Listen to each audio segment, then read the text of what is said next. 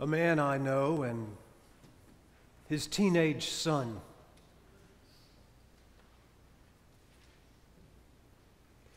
were in a terrible car wreck not long ago. They both walked away uninjured. And the man's family and a great host of his friends joined in a refrain of praise to God, saying and posting, God is good all the time. All the time, God is good. That's what they said. That's what they posted. And everyone who knows the man and his son, including and especially me, are overjoyed that they lived, that no one in the wreck was seriously hurt. And I'm glad that the man's family's first response was to thank God. And I'm very happy. I mean it. I am very happy for God to get all the credit. And I wouldn't dare, I mean this, I wouldn't dare criticize someone's reaction to a near death experience.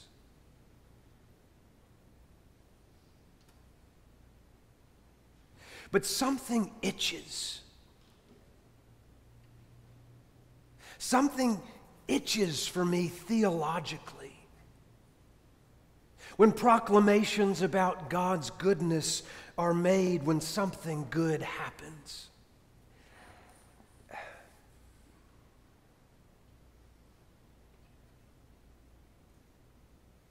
These days, every time I hear about a car crash, I'm reminded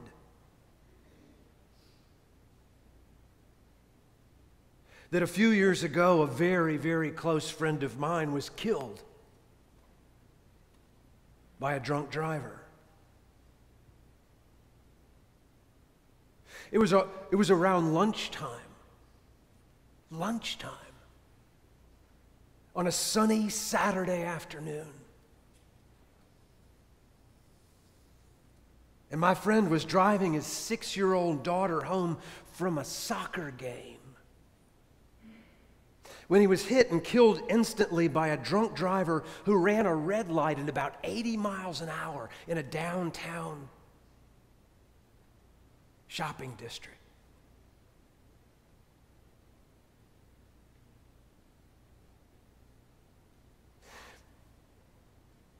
What I struggle with is that if God saved the lives of the man and his son,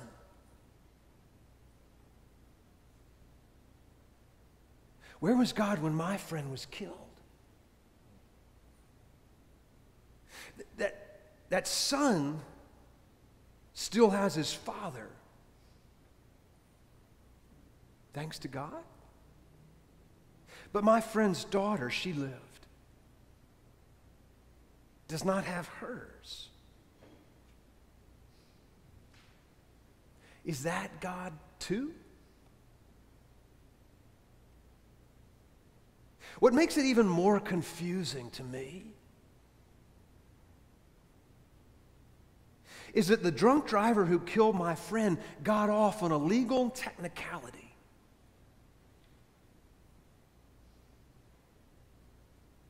He did not serve any time for his crime. He is alive and free in the world today.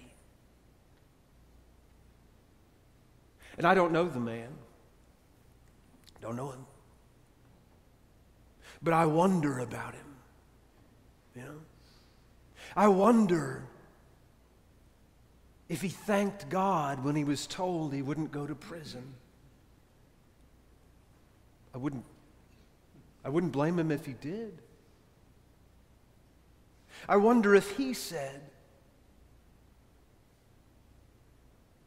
when he was acquitted, God is good all the time.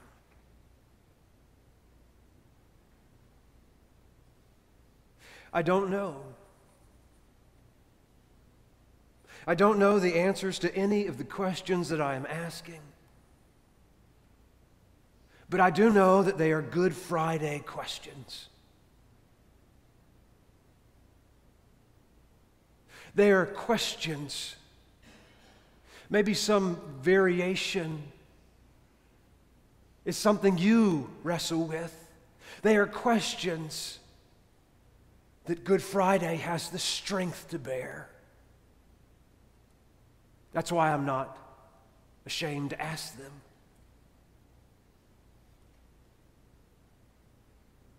You see, on Good Friday, with tears in our eyes, we wrestle with death. Why do some people die tragic deaths and others escape unharmed? Surely God doesn't have anything to do with that.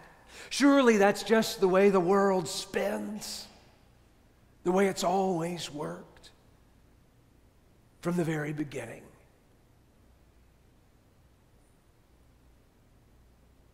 I was reminded that shortly before his own death, Jesus went to a place called Gethsemane to pray. And the gospel text says that when he went there, he was deeply grieved and agitated. The text says that Jesus threw himself on the ground. It literally says that. And he prayed that anguished prayer that you know so well. Father, Abba, Papa, Daddy, if it is possible, let this cup pass from me.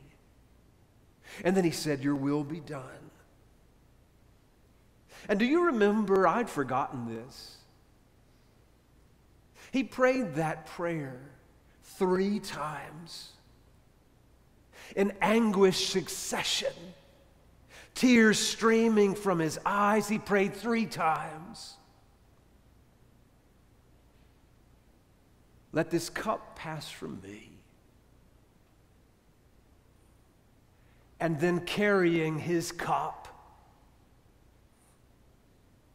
he was carted off to be killed. Jesus was not spared, was he?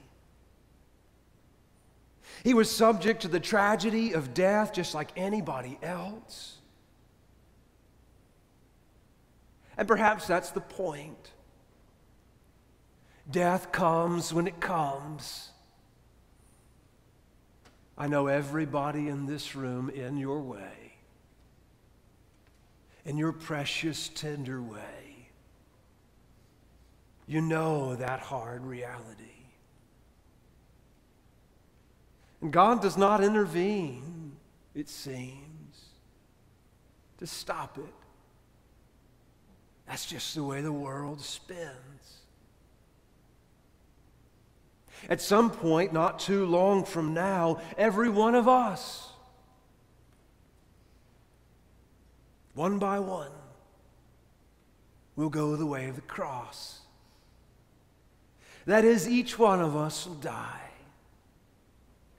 And the others will go on for a time without us, then they too will yield.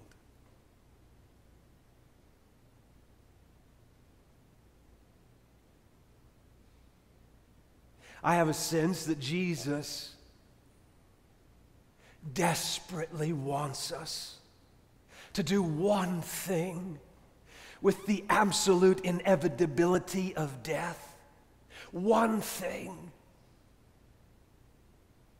Let death remind us moment to moment, to look freshly on the absolute preciousness of our own lives and the lives of everyone we know.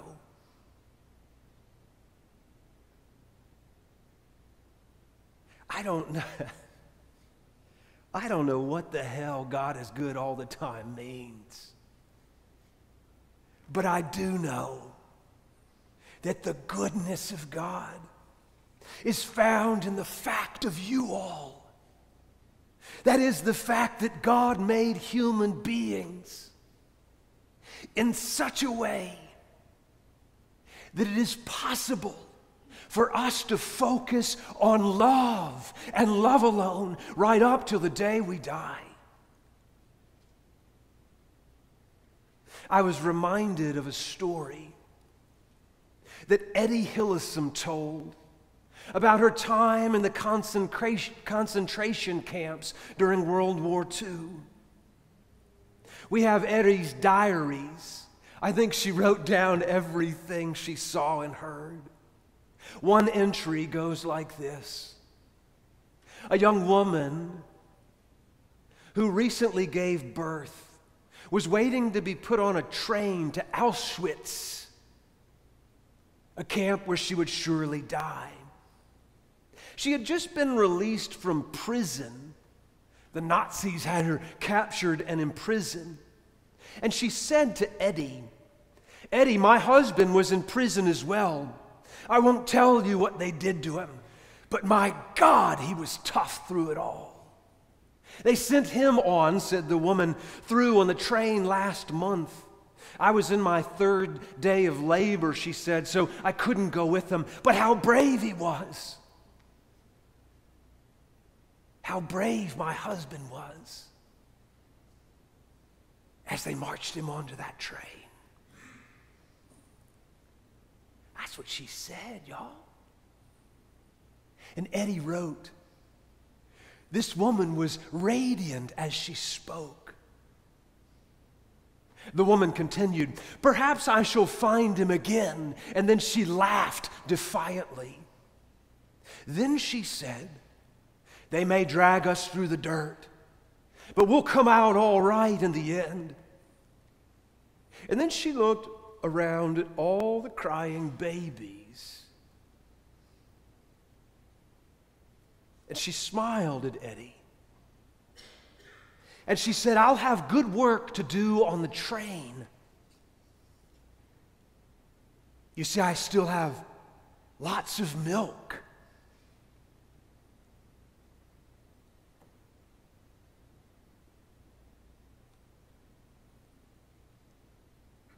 She laughed defiantly.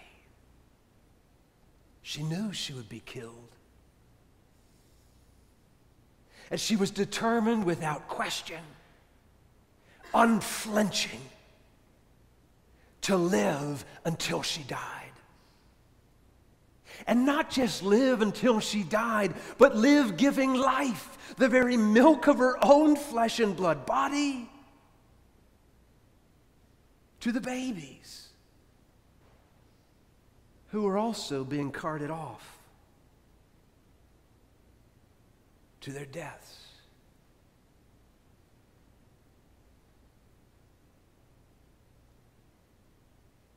I don't know what in the hell God is good all the time means.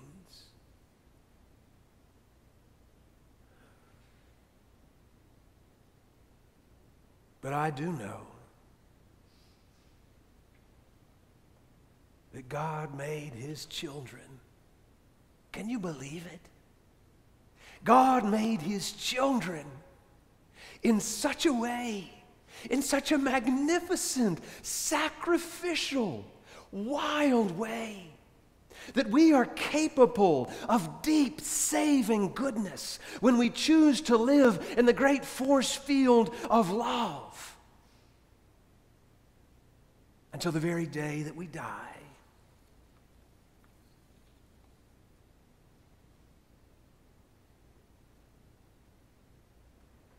I don't know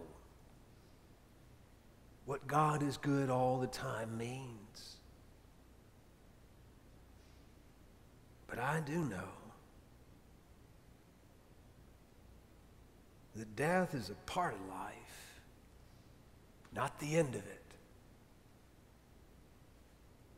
And that is good.